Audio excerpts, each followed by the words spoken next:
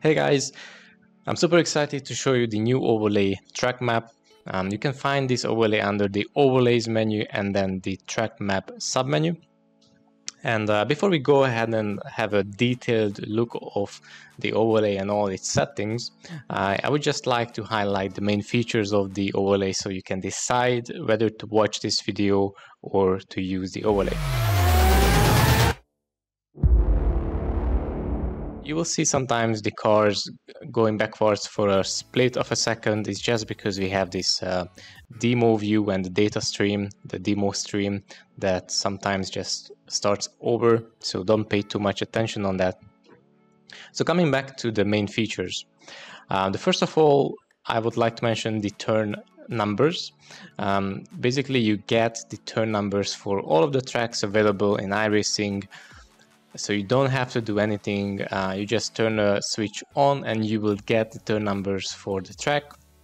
And this is especially useful because um, there's a lot of times I can remember and recall um, I would like to mention um, you know a turn name with my um, to my friends or my friends referring a turn name for me and I have no idea where it is. Um, and it's also super useful just to know where you are that this is turn 3 that you're approaching at the moment and you know turn 9 is this um, high speed right turner. It just gives a little bit of an extra for a track map to look at. And the next feature is the turn names. Now we really went for the extra mile and we gathered all the turn names for all the tracks and you have the option to turn them on again, it's super nice to use uh, or to see. If you're not good with turn names, turn this on and uh, for a couple of days, uh, you know, for the race week, if you're using the track map, turn the and turn the turn numbers on and the turn names on, then after a few days you will remember uh, them and it just gives again just an extra spice for the track map. Um, Right.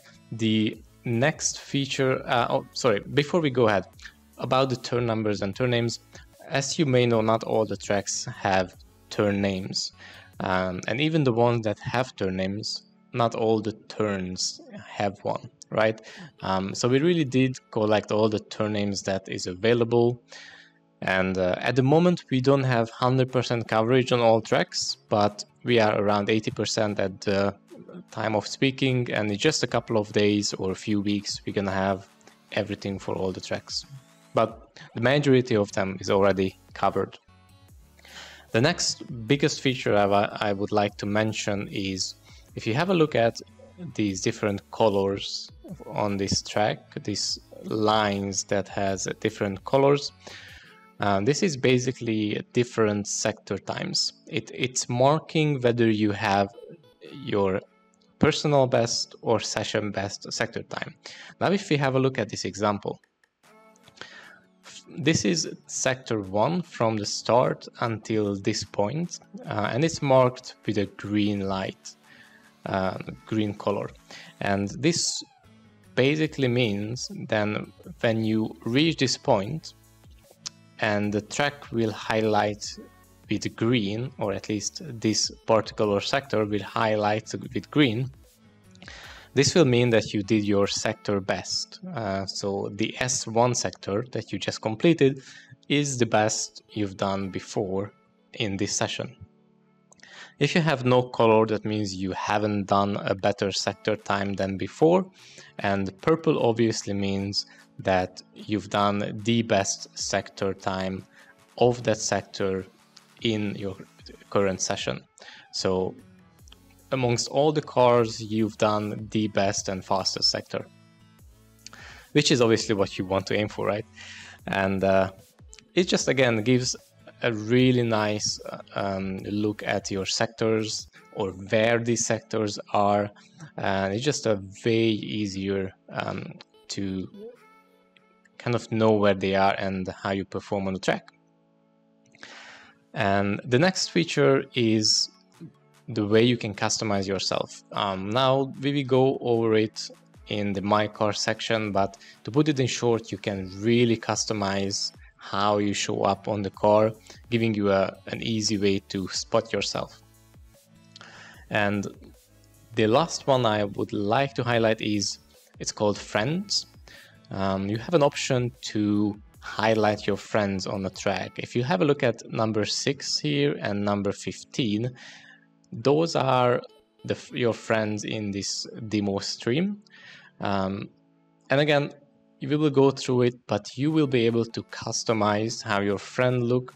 Basically, you can do the almost the same thing as you can do it with yourself. You can increase the size of your friends, giving you an easier way to spot them. If you compete with them, then you can easily see where you guys are compared to each other. So that's it for the summary. it's quite a long summary, but, but hey, there's a lot of features in this. So if you like to watch the detailed view of it, just go ahead and watch the full video. Uh, and now let's get into it. Okay, so have a look at the general settings. The general settings is quite similar to the other overlays. Uh, you can basically set uh, the font and the font weight, which will change how the turn numbers and turn names and car numbers will look. Um, I'm not going to show it, it's um, quite similar to the others. And the background opacity for this overlay is basically the, the center of this track map. So if I increase this, you're going to see a lot darker option here, but I'm going to just go back to where it was. Now the maximum overlay width is something that is a bit different compared to the others.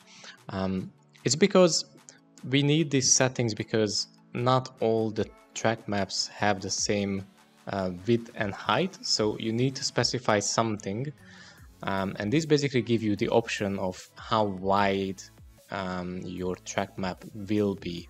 Um, you might set it high, uh, for example, this 100, 1160. But if you have a track that is very long, like very high, um, then you might not reach the maximum width. But you, in, in general speaking, you are most often going to reach the max width here than not. Barcelona is a good example. This probably has the full width and uh, with this option you can basically tell the maximum size you want it to be, nothing really more than that. And I like to highlight one feature here, the rendering FPS. Now, almost all our settings have this question mark where you can just highlight, where you just hover your mouse and you get a lot more additional information for the settings. So please use it and uh, read them. Uh, I'm trying to cover most of them here, but still I might be missing something. So make sure you read it to understand it um, to a full extent. Now, rendering FPS is something very important. If you concerned about um, CPU consumption, track map is something that will consume some of your CPU. It's not a drastical uh, CPU usage, but there is still something.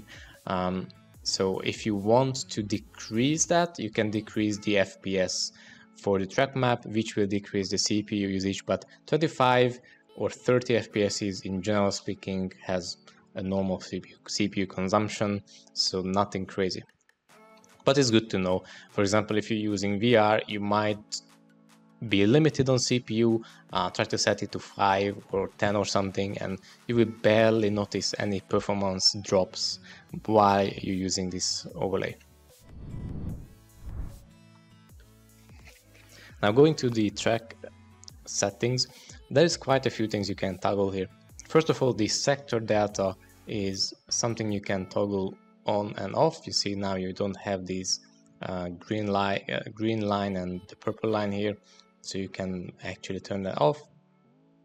The sector data always compares to something, obviously, and by default it compares to the session best. So whatever was your best sector time, it will compare it to, but it's only on a scope of a session, so it's not an all-time best. It's just a session. And if you look at the options, we don't have more options at the moment. Obviously, we will extend this um, sooner or later. But for now, to give a, a really good visibility of what this sector time compares to, uh, you, you can see here. Uh, the next thing is the track border. Um, this white border around the track, you can toggle it on and off. And also you can specify a different color if you want to have a red border for the track map, you can also do that. The track color can also be changed. This is the dark color you can see here. If you turn this on and choose again a red one, then you get your red track color, but I do not want to do that, so I'm gonna turn that off. Um, now the start and finish line is something, uh, it's like a marker that you can also toggle to show or not. And you can also choose a color of it if you wish. Um, next one is the track line width. Obviously you can change how thick this track line can be. If I lower it, you will see that it's much thinner and this will be the highest one. You might increase the maximum width of the track, but at the moment, this is the maximum width you can get. And the start uh, finish uh, line size, so this marker here, you can also change how big it is.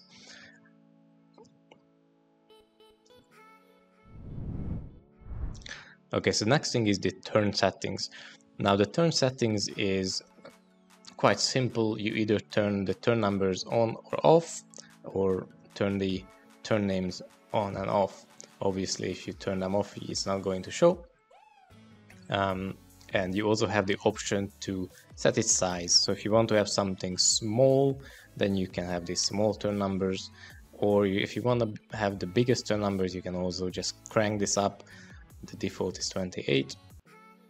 You can also choose a different color for the turn numbers, background and uh, the number colors. You can change it over these settings.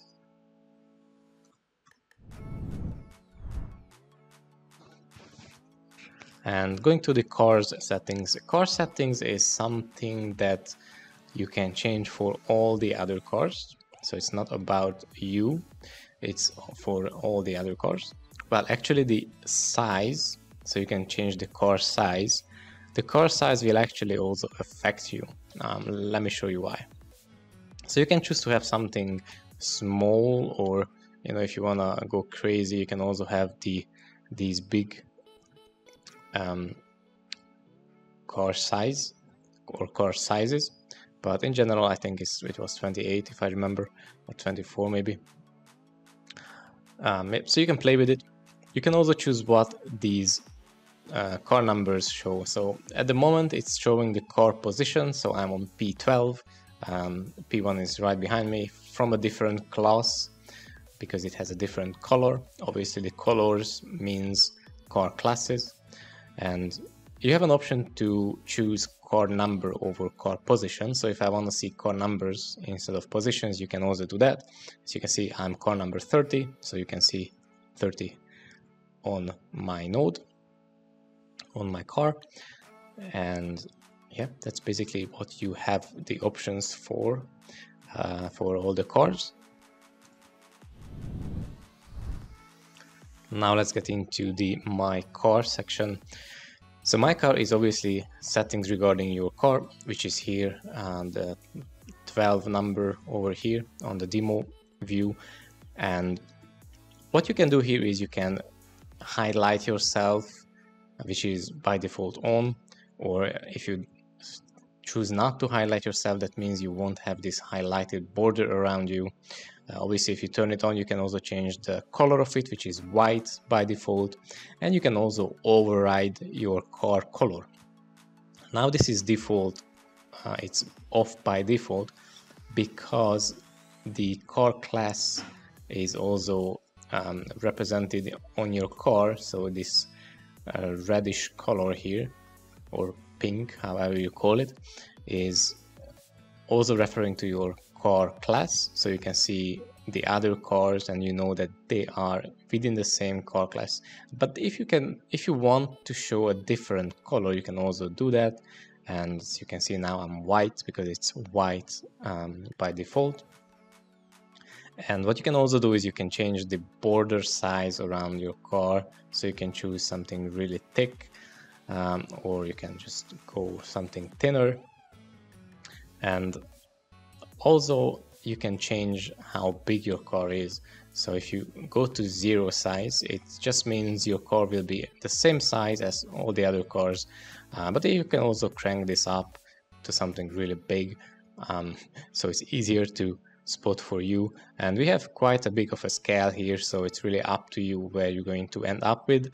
Uh, for me, it's uh, the 7 is something and optimal. It's not too disturbing and don't stand out too much. Um, yeah, but it's basically all the settings you can do with your car. Now heading over to the My Friends section, which is um, something really interesting and exciting because, well, you didn't have this option before, I think, uh, anywhere else. So what you can do here is you can customize the look of the Friends car and these options are exactly the same as it was in the My Car section, so I'm not going to over it again. But basically, you know, you can do exactly the same thing. So if I want to have my friends to be as the same size as me, I'm just going to crank it up to this level. Right. And the way you actually tell RaceLab who your friends are is highlighted in this section here. So you can set up your friends list if you click on this link. Now, if I click on this link, it's going to bring me to the settings menu. And in the settings menu, you have this friends tab. And as you can see, I have some friends here that I've added and you can also add more by searching by its name or by its iRacing ID and then it will add it to this list. And then if we go back to the track map, my friends will be then showing on the track as you can see. It's basically that simple.